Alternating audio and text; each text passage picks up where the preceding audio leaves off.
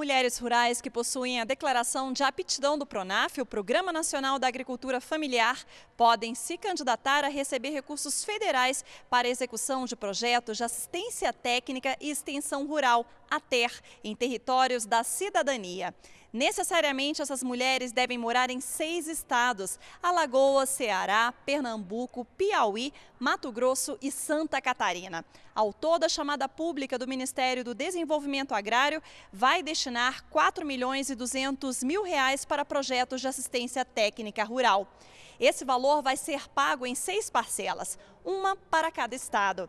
As ações devem beneficiar cerca de 1.440 mulheres rurais, principalmente aquelas que estão em associações produtivas. São consideradas trabalhadoras rurais, agricultoras familiares, extrativistas, pescadoras artesanais, quilombolas e indígenas.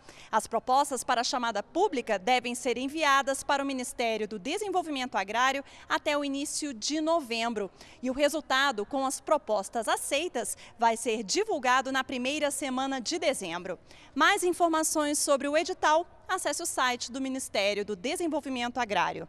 De Brasília, Daniela Almeida.